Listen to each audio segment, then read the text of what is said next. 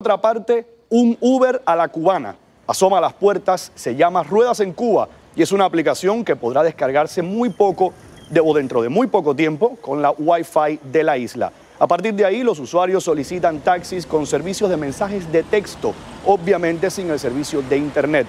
Ruedas en Cuba se estaría ultimando o estaría ultimando sus detalles acá en Estados Unidos para ser lanzada próximamente en la App Store. Además de la tarifa por el taxi, solicitar el servicio le costaría al cubano 9 centavos en pesos convertibles el precio de cada mensaje de texto en el país. Los creadores de esta aplicación, acá en Estados Unidos, se muestran entusiastas, pero moderados sobre sus expectativas. Soy Ernesto Morales, ahora continuamos con más de su Mega Noticiero.